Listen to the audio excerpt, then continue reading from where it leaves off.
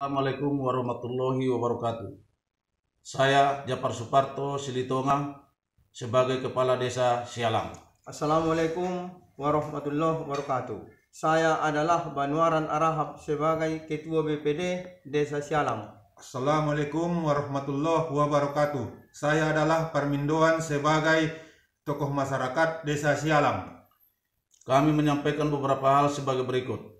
Kami mengucapkan terima kasih kepada TNI Polri dan penyelenggara pemilu serta seluruh lapisan masyarakat Kecamatan Sayurma Tinggi, Kabupaten Tapol Selatan yang telah berperan aktif dalam menciptakan situasi yang kondusif, aman, sejuk, dan damai selama pelaksanaan pemilu tahun 2019.